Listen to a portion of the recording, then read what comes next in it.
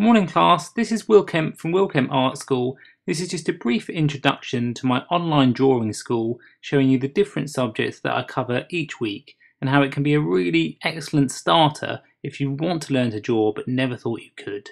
So the first week we looked at the importance of line and how every line has a shared edge.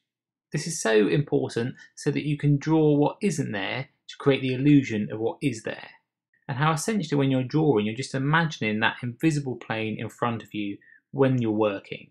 Then working on a tone ground, we overcame some of the problems of feeling that you can't go dark enough in your drawing to create that real sense of depth and tone.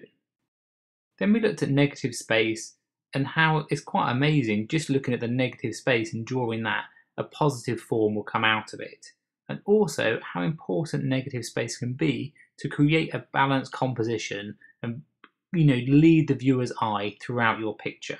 We then moved on how to measure objects, how to use your arm and look at angles and differences in sizes and ratios between the subject that you're drawing so you get a drawing that is in proportion.